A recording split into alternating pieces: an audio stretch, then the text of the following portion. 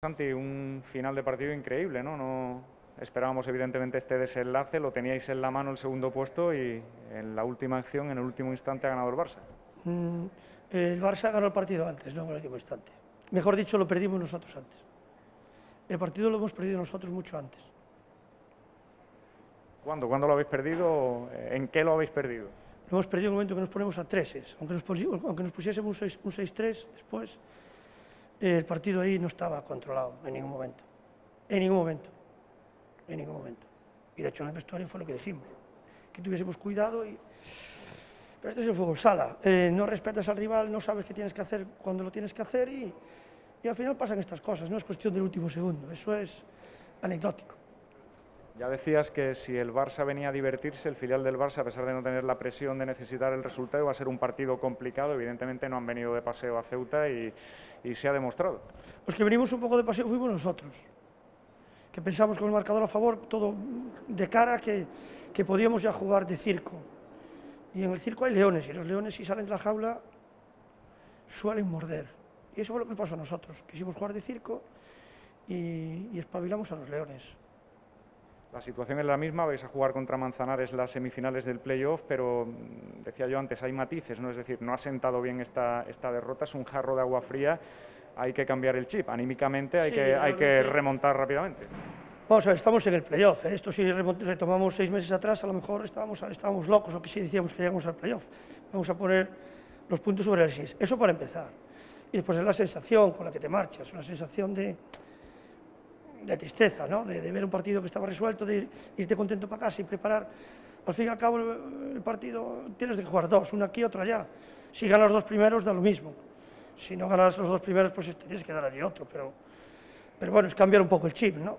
Cambiar un poco el chip y pues, pues un tema pues, económico, un tema pues, eh, y mental. Ahora mismo es un tema mental porque nosotros contamos con otra cosa, pero al fin y al cabo es un playoff y si nos vamos a, a lo que pasó con otros playoffs, pues a lo mejor jugar en casa el primer partido es, y lo ganamos, pues mete presión a Manzanares, ¿no?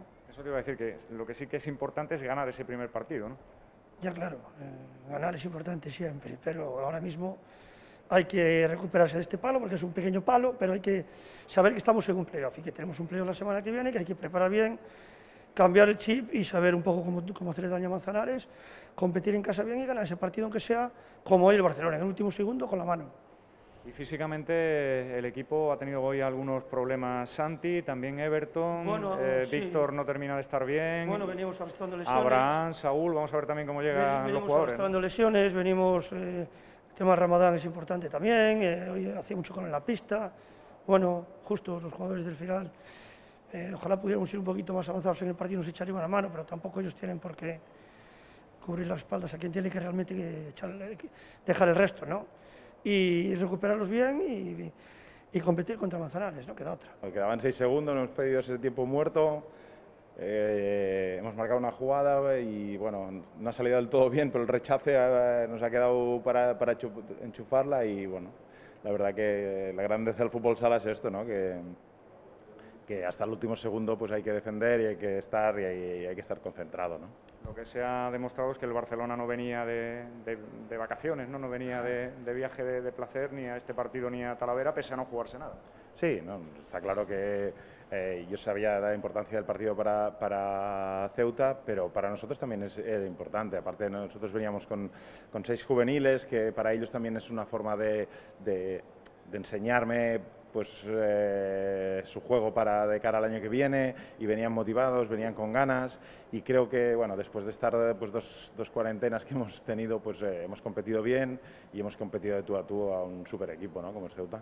Y ya una última, como espectador en este caso de lo que va a ser el playoff, ¿qué, qué opciones le da al equipo Ceutí? ¿Cómo ves esas eliminatorias? Mira, yo antes lo hablaba con el míster, creo que los cuatro equipos que se han clasificado están muy igualados, ¿no? Eh, yo creo que es una liga muy igualada, nadie ha ganado a pesar de que no ya ha quedado primero muy destacado, pero los partidos los ha tenido que pelear mucho, ¿no?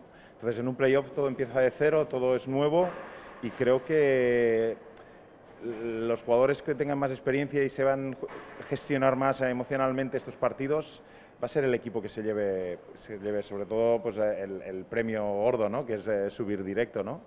Pero sobre todo la primera, el primer partido que es la semana que viene es el, que rompe el hielo y creo que es eh, importante estar.